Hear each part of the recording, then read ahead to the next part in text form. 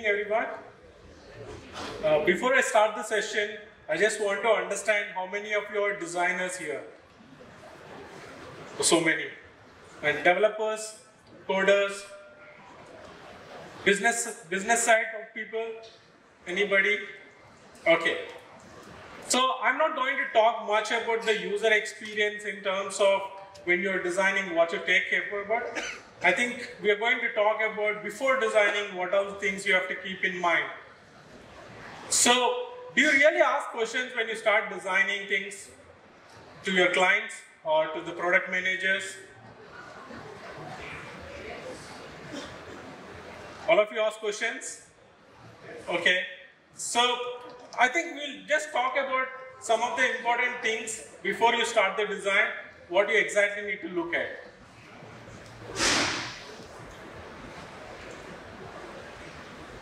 How does it move? Okay. So it's it's very important to understand when you're designing something, you know what's the vision exactly you're creating, either in the product or in a website or in a mobile app. Now you need to understand what is their future goals and aspirations, how it's going to reflect through an application or a product.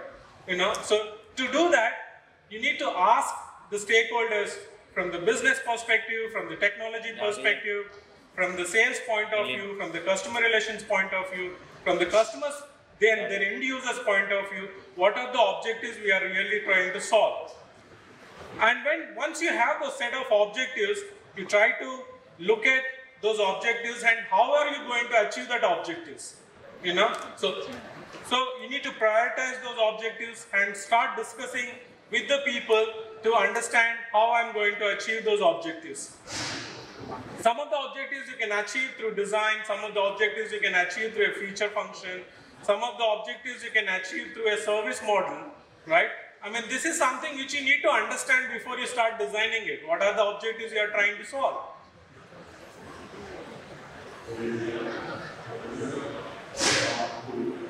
The second thing, so once you understand the overall perspective from the stakeholders, from the various departments, so you need to focus more on the customer side.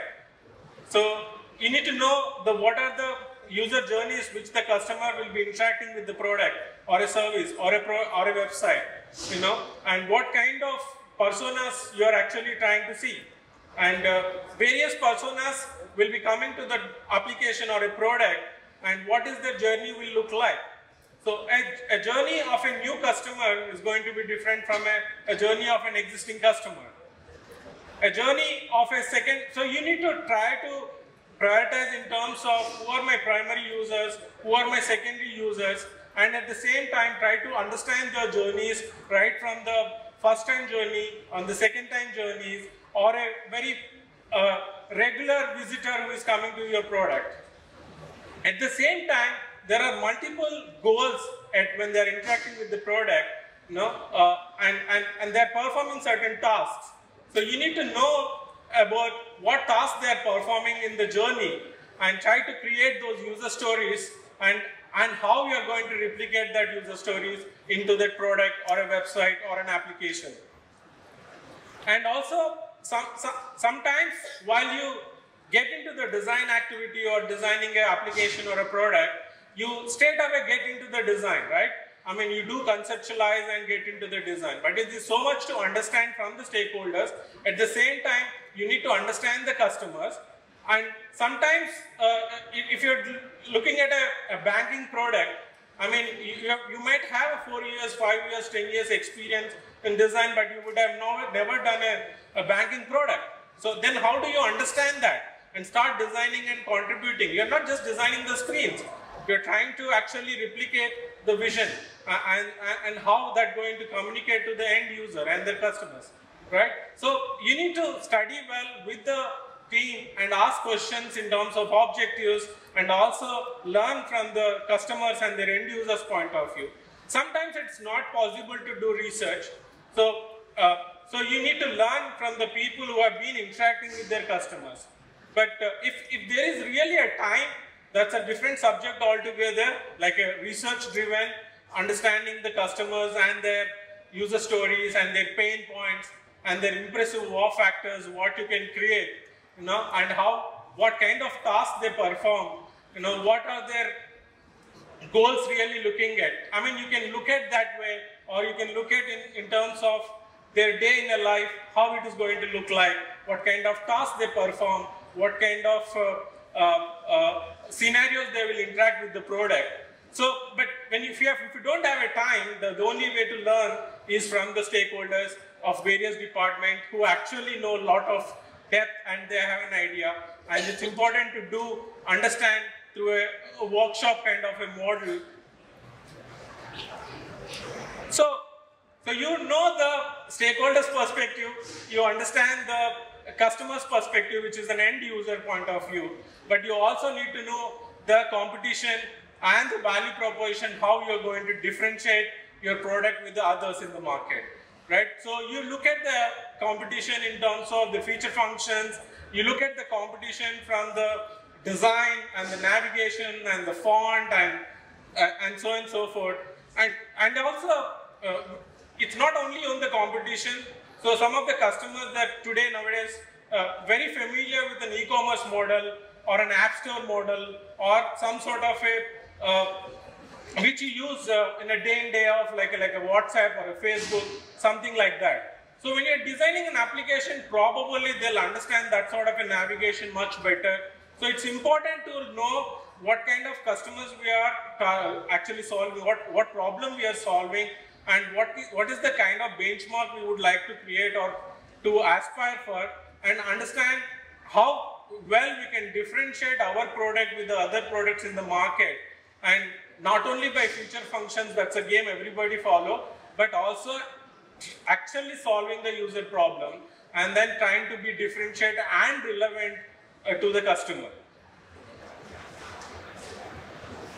So, so once you understand the stakeholders perspective and their objectives and you have a set of objectives and trying to achieve those objectives, so and then you have a customer perspective and you know the competition very well, and, and then you understand, uh, oh, this is the benchmark I'm trying to create, actually that is when you have to get into the design. So this, this route could take a significant time. So it could be two weeks, it could be 10 weeks, it could be four weeks. But if you are designing something without understanding all of those three elements, excuse me, I think you won't be succeeding that easily. I mean, you may succeed to convince the stakeholders, but when it be released to the customers, probably they may not be liking it.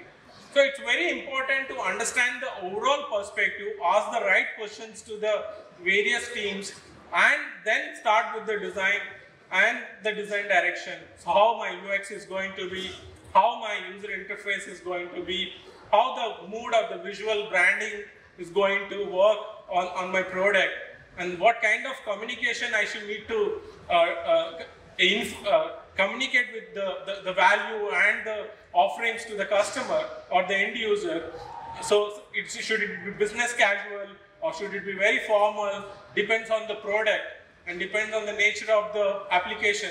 So you need to build that kind of a visual language and the visual communication and I think you can get into the design direction at that point of time very easily starting straight away with the concept, oh, this is a project, okay, I have two questions, okay, let's start with the design. I think it's, it's not a right thing to do. So you need to go and understand every part of the uh, product or offering which you are looking at, you're trying to design. So once the design you start off, I mean, let's not get into start designing the screens, you know. So you need to really work on the information architecture so I think these are all are not silos. So customer experience, the user stories, the information architecture, the design direction, all these are actually going to be work together. So you need to more understand that what's the first level of information which the user will be interacting with, what's the second level and what's the third level, how frequently they shift from the third level of a point A to the third, level of a point B you know, and how often they shift, and what is the kind of experience you give, what are the frequent actions they are going to do, and how you build that architecture and the model is so, so important. So you need to understand how this product coexists with other products, how it's going to be scalable in future when you are adding more features and more functions. And uh, the mental model of the users, uh, also how they are coming uh, and searching for a particular product. Like in an e-commerce, you go from an electronics to a product, or you go from a mobile to a phone, or you are very clear and try to search and go through it. So all sort of mental model exists. So your, your application gets richer and richer by understanding the mental model. You, you, do, you, you can't say that my audience are going to be like this and, and hence I will design my flow accordingly. But you need to take different personas as who is my primary audience and then that's how I'm going to design my information architecture. so once you have a clarity in terms of vision, in terms of the customer, uh, the stakeholders' objectives, so once you uh, understand the uh, end user, who are their, like what are the kind of tasks they are doing, what kind of uh, uh, pain points you are solving, what does the journey look like, and a set of a competition landscape you understand and a benchmark you want to create. And then that's when you know you get a complete picture of how I'm going to design and you have an information architecture. This is when you should start actually looking at designing things. Thank you.